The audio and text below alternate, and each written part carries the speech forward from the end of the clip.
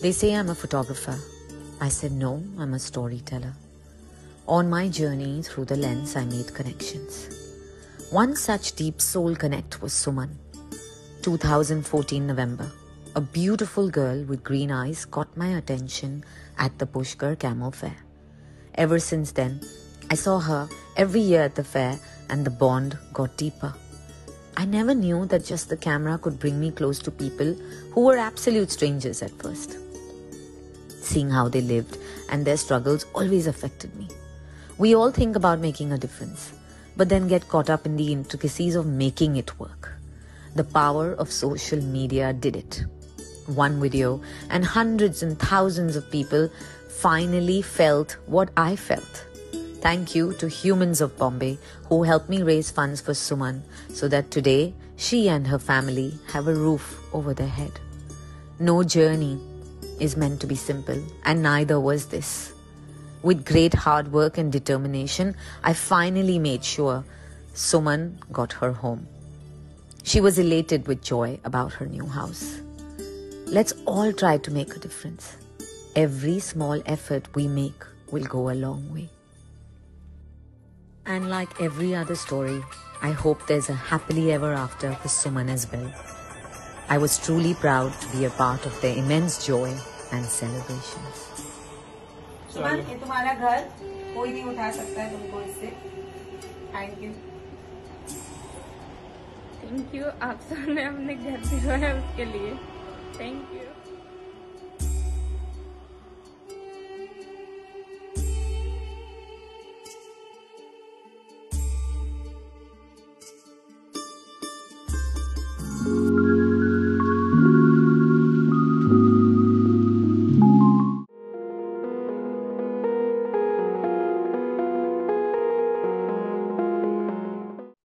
Ladies and gentlemen, boys and girls, my name is Diptii Shah and welcome to my show Artistry. Today I have the pleasure of having the internationally acclaimed photographer and documentary short filmmaker, Ms. Sonali Devnani. Hello, Sonali, and welcome to my show. Hi, Dipti. It's very nice uh, of you to have me here, and I'm very excited for this conversation of ours. Thank you so much. First of all, congratulations on your film Confluence, winning the best awards across the world. Thank you. Thank you very much. What do you have to say? How do you feel? Yeah, this was, um, I had no idea that this was coming. It was the, uh, the Chicago South Asian Film Festival. Uh, you know, as filmmakers, we submit to many, many festivals and uh, you know being nominated itself is such a big thing uh, that we are always so grateful for being nominated. But having won the best documentary film was uh, totally a surprise. And i was really sad that i couldn't be at there at the festival because of covid restrictions and all of that. But yeah i'm so happy. I hope this film does wonders in all the other festivals as well. I'm sure it will. And all the best from our side.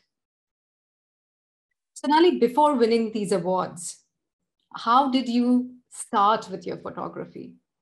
When and what you know took you on this journey? Yeah photography was a by chance kind of a, a thing that came into my life you know as um, as a mother and uh, having a newborn or having a young child at home you always want to document them or have great photos of your children.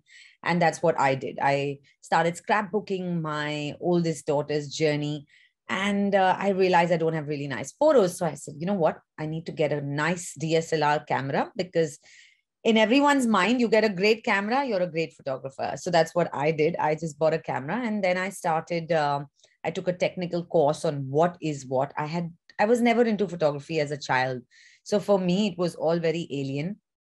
And i started uh, shooting my my child you know at, at home in the park um, until then my you know my friends saw these photos of uh, of my daughter and they were like oh my god can you come and click our kids photos or can you document our kids birthday parties and i started doing that and it, it became a job people started hiring me and uh, little did i know that uh, i was an event photographer in hong kong you know so baby showers birthday parties uh, kitty parties I've shot them all.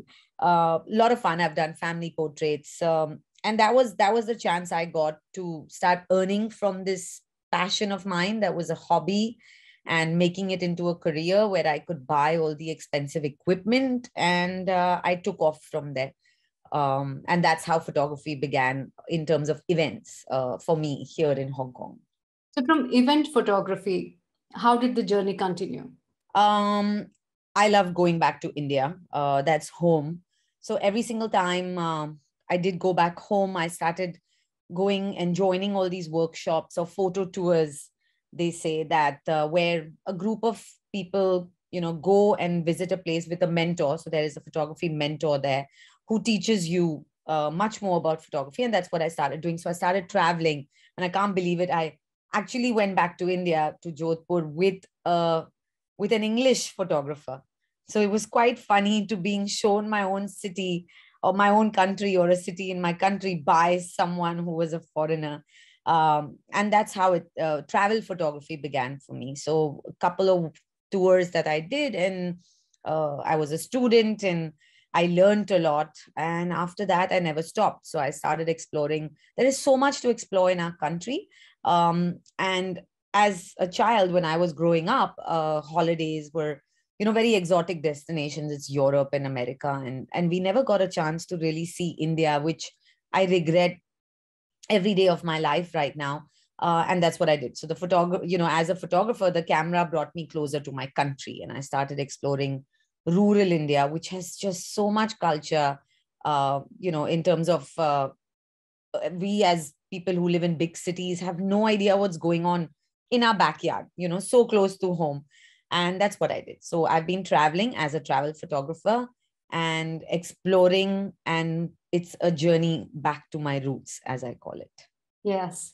Isn't it such a pity that we have such a contrast you know? I mean india is such a rich country and we've always dreamed of you know going abroad like a destination yes. of europe or america switzerland you know strange are the ways of life.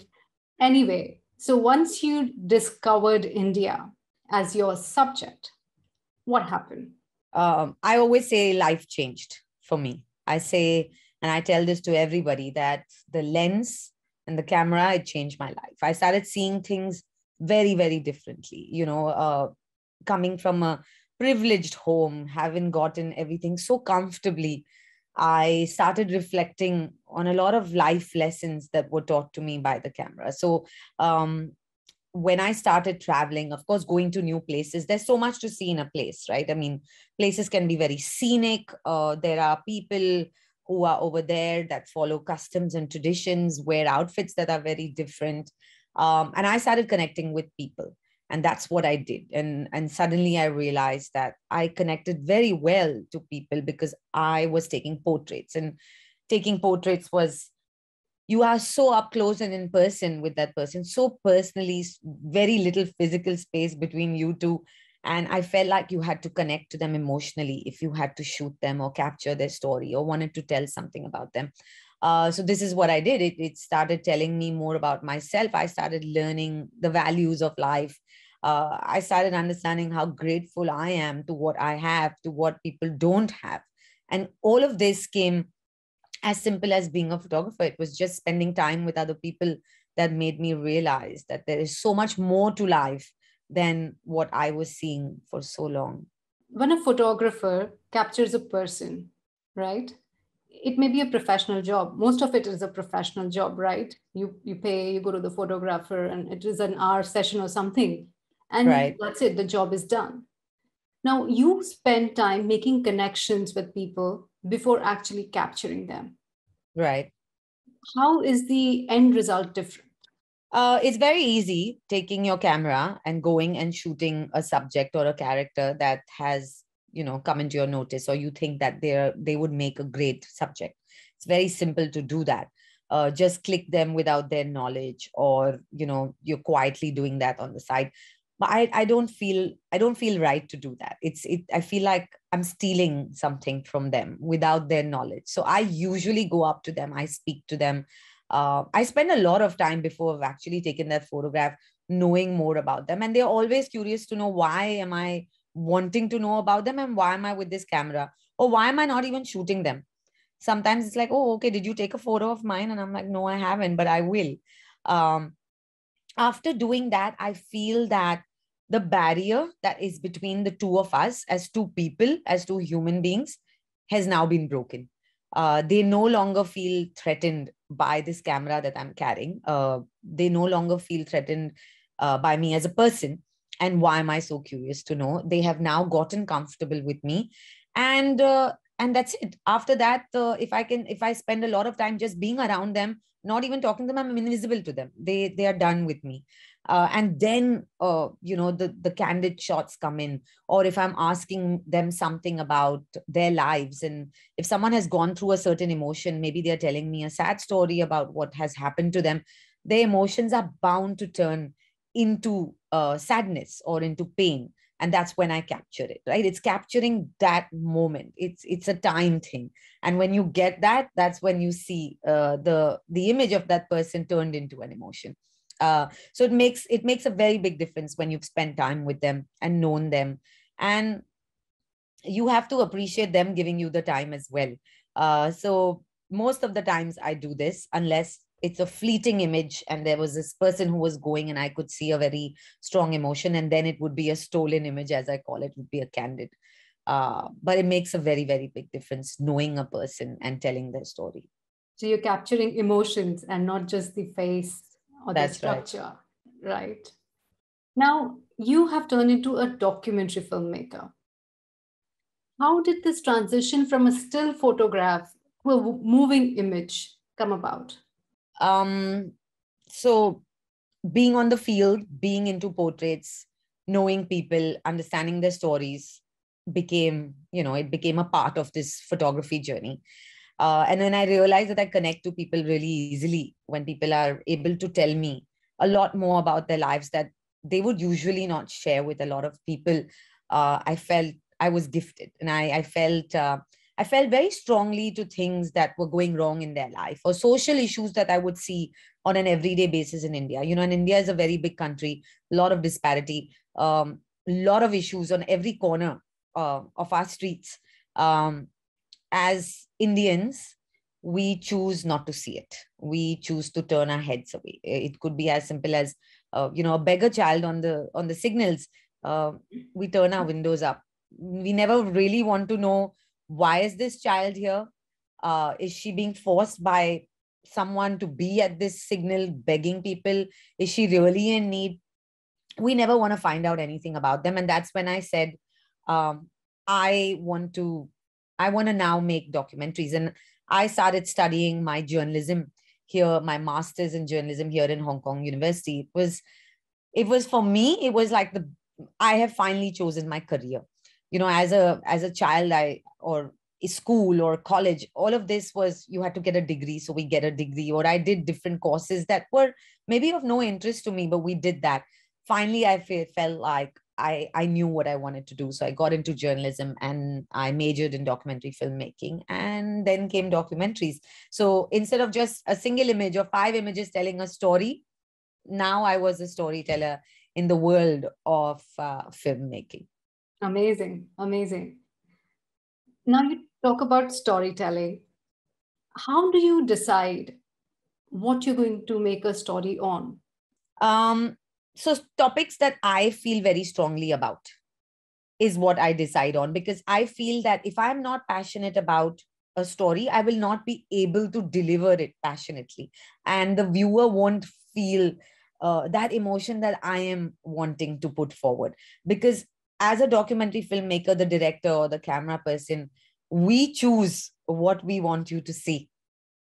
Of course it's all the truth. There is nothing that is being uh, you know uh, enacted or anything like that. It is all harsh reality but also there is a way of showing it. So if i don't feel passionate about something i don't think i'll be able to deliver it like that. So it's topics that i feel very strongly about. As a mother of two children drug addiction in children was very very was a topic that came across to me which was very close to my heart. And i said you know we have to show the reality of this in our country.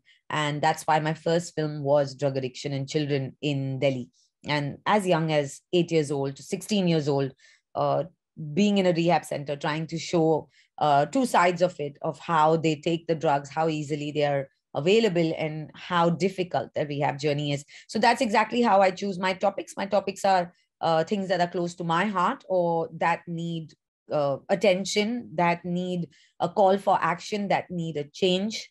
Um, and that's it. right. Uh, choosing a topic like drug addiction as your first movie, was it challenging? It was very ambitious, uh, very, very ambitious, uh, definitely.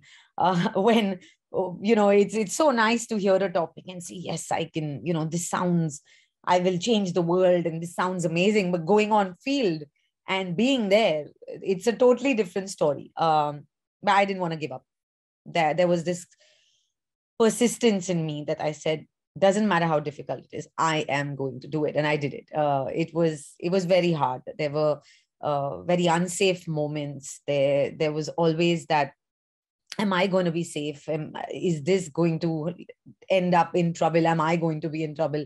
My parents were not super happy with the story of that i was trying to capture. Uh, of course eh, no one would to be want their child to be in areas such as that.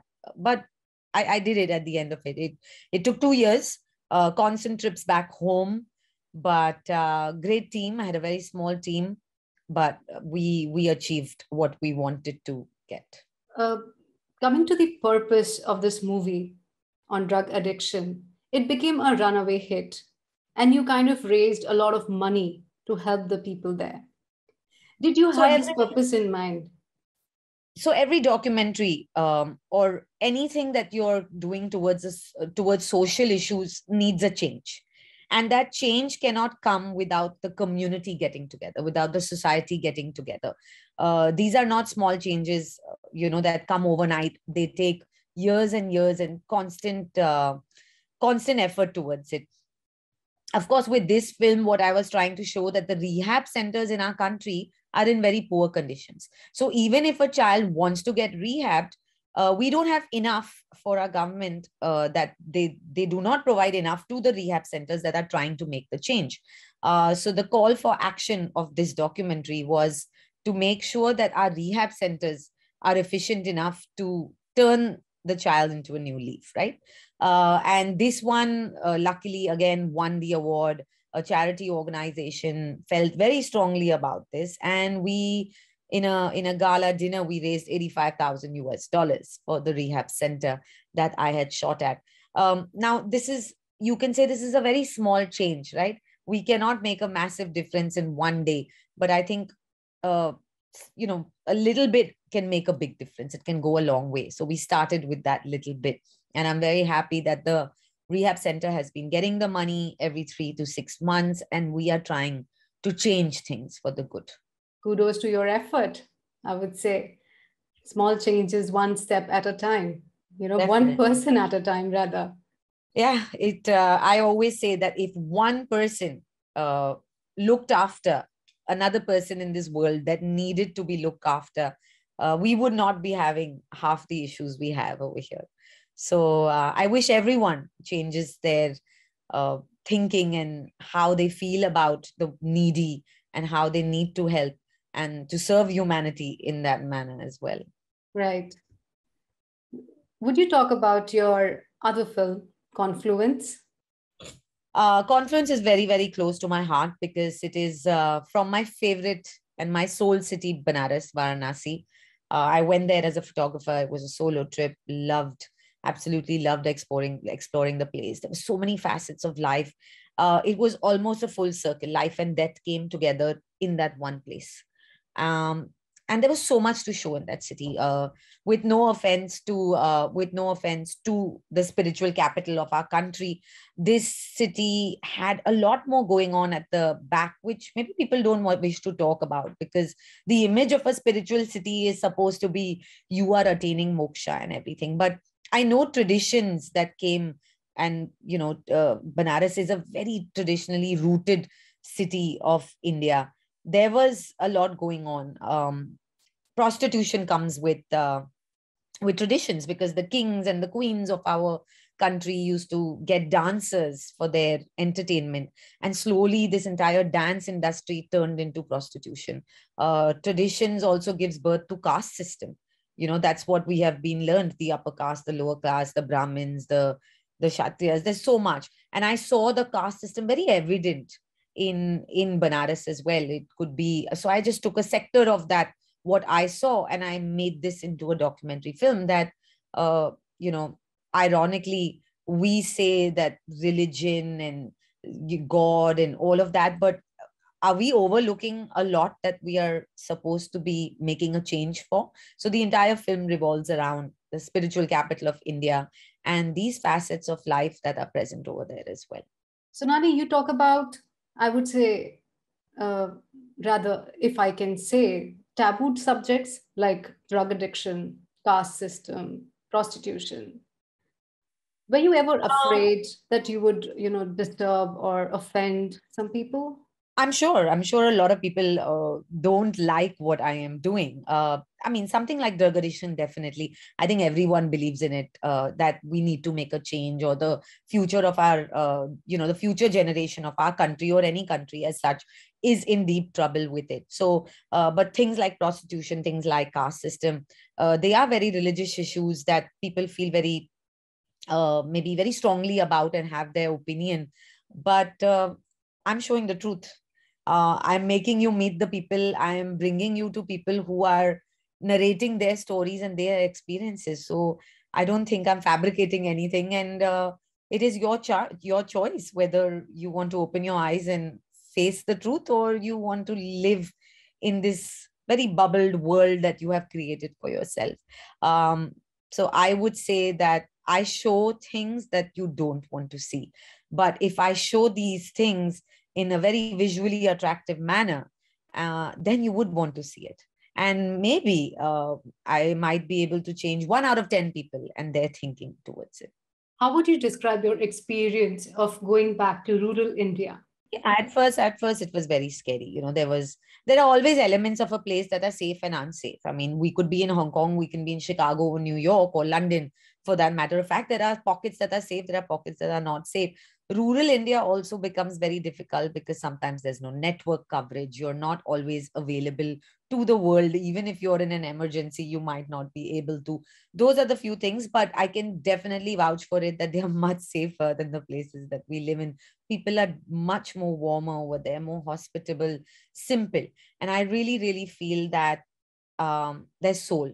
There, there's something so real about it that makes me feel alive. Uh, we live in this concrete jungle, as we call it, uh, where people walk as robots every morning to work and robots back home. There is no soul. This is a soulless city. And I, I, miss home the most because of that. Um, just the fact that you could be walking down walking down your lane or your building and uh, the dhobi knows you the milkman knows you the vegetable vendor knows you and they know everything about you right? Uh, i miss that. I miss i miss that interaction with real people. Uh, we this is a very superficial world uh, or a place that we are now existing in. And slowly things are changing even in urban india things are changing. And i hope it rural india stays like that. But there is uh, yeah there is safety issues in every place i feel. Uh it's just i felt more secure because of the really nice and real people that i met in these places. Yes they're so pure right? They're like untouched by any of these social yeah. media stuff. Definitely.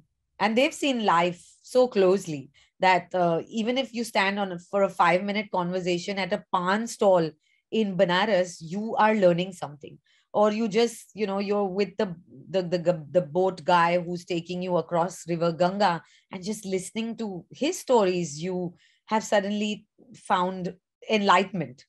As simple as that. Sonali would you say that you have scratched upon something called a social aspect of photography?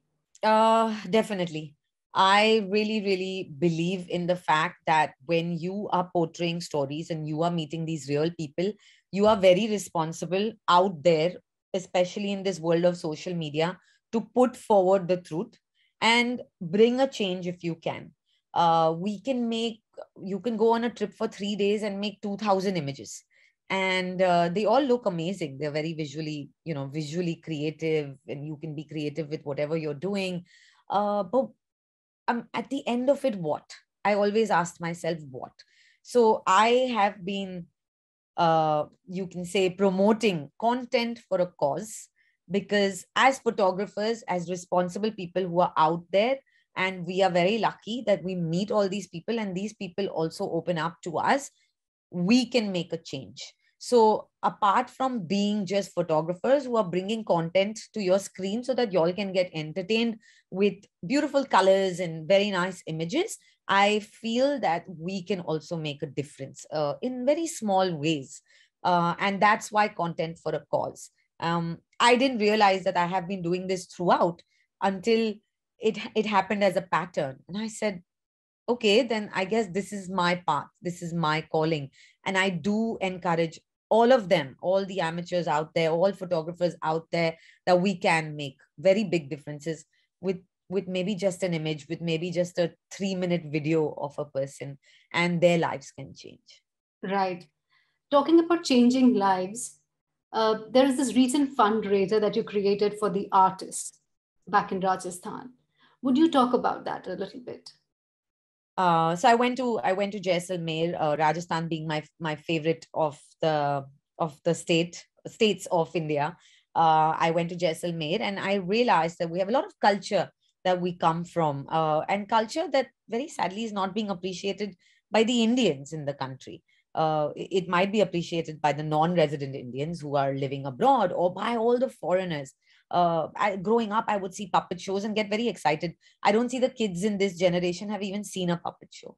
Uh, so when I went there and I, I said, you know, we have to safeguard our culture. It almost feels like our responsibility to bring forward to the to the next generation this culture. You know, puppet show, magic shows on the street, uh, folk singing. Everything has become so commercial. Everyone's focus span and everything is so short now. They'd rather be on their gadgets and enjoy their entertainment like that. So I decided and i saw them suffering towards the you know during the pandemic there were no tourists no one to see them and i decided to bring them online so we did a fundraiser we had them come online and perform for the world and the fundraiser was quite successful and we raised uh, 6 lakh 24000 rupees for four families uh, which is absolutely amazing it's uh, you know they suddenly see a ray of hope that uh, this culture is not going to die and that they will pass this on to their next generation. Uh, so small little things can change their lives. Um, there's another story of a very beautiful tribal girl who I have been photographing for seven years now, and how people would, as photographers, took advantage of her. And we, again, with Humans of Bombay, got together and raised uh, 20,000 US dollars, enough to buy her a home and her family a home. And provide them with ration every month and and again lives have changed uh, who knew that media is so powerful so when you have that tool the camera in your hand uh, you can use it to someone's uh, life changing experience. And i think that's how we have to do it. We have to feel more responsible towards others being photographers or content makers. Yes. Uh, talking about responsibility uh, you had once mentioned about you know so many photographers just piling around in the pushkar fair or any other place in rajasthan and they're shooting the local people as if you know they had the right to do it yeah so it's it's being a human being before being a photographer it's as simple as that you know you cannot uh, take advantage of someone's helplessness and create that into a very strong image uh, a child crying. I mean, he might be crying out of hunger, mustn't have eaten for days. You have got a very strong image. So you are clicking away to glory. I get that, that you don't wish to miss the moment, but then don't turn away and go back, go away. You know, it's your work is not over. So human, you know, it's humanity before photography. And that's what I vouch for. Uh, we I make sure that as a team of photographers, when we are out, we're carrying a bag of biscuits, of chocolates, of juices, and that we can spread the joy, spread the cheer. You know, why wouldn't you? You yes, you've shot those tears and you've shot that pain for why would you not want to have the contrasting image of all those smiles and the happiness right? Uh, and that's what I, I always tell people you know do not take advantage of other people just because you have that fancy camera and you can walk around and think that they are there for you just to get captured because they are waiting for that 10 rupees that you might be wanting to give them. Uh, so there's a lot more to life that photographers have to give as well and that's why humanity before photographer. There are so many stories of photographers who were in in similar situations uh, where uh, you know they took a haunting image that became very popular. And uh, that guilt that the photographer did not save that little girl he committed suicide. You know so there are photographers who feel the guilt as well. But why should you? You know you be prepared for it when you're on field uh, so that's what I would want to tell everyone over here who is getting into the field of photography, does see people who need the help over there. Uh, that let's make friends along the journey. You know, it becomes an extended family at the end of the day when you keep going back to the same place and they know you. Uh, so make connections and just don't make images. So lovely. Sonali, we are not shooting. We are just watching your films. We are watching your fundraisers. How can we help as general public. So it's the same right? You need one person to want to bring the community together. So something like a fundraiser that happened i encouraged everyone to watch it online. You know a ticket was a 200 rupees. And and that's how people can help. Or even when you step out of your house and you see you know there's this maybe a vendor who's been struggling to sell his wares or her wares. And how do you help? You know you probably have a hundred contacts on your whatsapp. All you have to do is you know talk to that person interview them even as an amateur just speak to them understand their story and share it with 100 friends. And you alone could be changing that that man or woman's life just like that. So i think we all can become photographers and videographers. We can we can all make content for a cause. You know you don't have to be an expert in doing that. And like i said one person for one. If that happened there would be no sadness or there would be no disparity left because someone was taking care of the other. And i guess that's what everyone should do you know look around and see who needs it. And uh, smartphones you know you have the best of cameras you have everything. You really don't need my fancy dslr to tell a story or uh, to shoot uh, very beautiful breathtaking videos. You don't. Right right. We can all we can all contribute. We can all make an effort. Sonali you run a mentorship program for photography when you visit India? Right. So after so many years of, uh, let's say, I'm still learning, and I, I believe that every single day and of your life, you're always learning. The journey of learning never stops. Uh, but from whatever experience that I have had, uh, I love to share it with other people. Uh, this is not a treasure that is supposed to be kept for myself, and I feel sharing it only makes my treasure bigger. Uh, so I've been uh, totally enjoying having these photo tours and workshops because I felt like I learned uh, from my mentors when I was on these workshops and tours. And now today, becoming a mentor gives me immense joy, and I can share all of this. Uh, again, we all get together, we all share the same passion. We're out on the field shooting. Uh, and I'm really touched by so many testimonials that I've got from my people that uh, from my students or participants who have said that not only have we learned photography from you, but we learn life lessons. And I think that's what we need to do. We need to spread the happiness, spread that love. And uh, these programs uh, make it easier for me to do that. Um, so I've completely been enjoying being on these workshops on i've been doing online workshops uh, online classes for photography as well uh, i've been teaching children here in hong kong who are passionate about that uh, to get on with the camera and uh, make amazing images.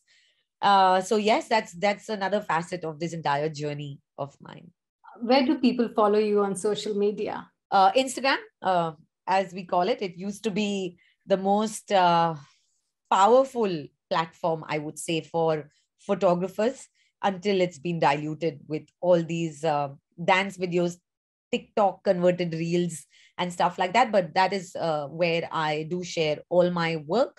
Um, and I have been very lucky that I've met a lot of like-minded people on my journey and who have, you know, strangers turned into friends and now family. Uh, so I would say Instagram, Sonali D3. If you haven't followed me yet, please do. We will, we shall. I am already following. Sonali, on the last note, on a parting note, how would you sum up your journey, your photography journey from an event photographer to an independent filmmaker? I never planned anything. I can I can definitely tell you that. Uh, and I think for people who feel like it's too late to start a passion, it's too late to study, or how can I do it? Uh, no questions asked. You, if you just step in there, the universe magically creates the most amazing scenarios for you to keep going forward and go up on that ladder towards success. And that's exactly what happened to me. So i would um, advise anyone and everyone uh, you know it can be photography it can be videography it can be a hobby it can be it's never too late to start and uh, believe in yourself uh, so much so that others start believing in you. Uh, you have to feel passionate towards what you're doing for others to have the faith in you for that as well. So that those are my two cents on it. Fabulous sonali. On that note thank you very much for coming on my show and speaking with me. It was an amazing interview. yeah. Thank you so much sonali. Keep doing the good work and we will try to support you as much as possible. Amazing. Looking forward. Thank you. Thank you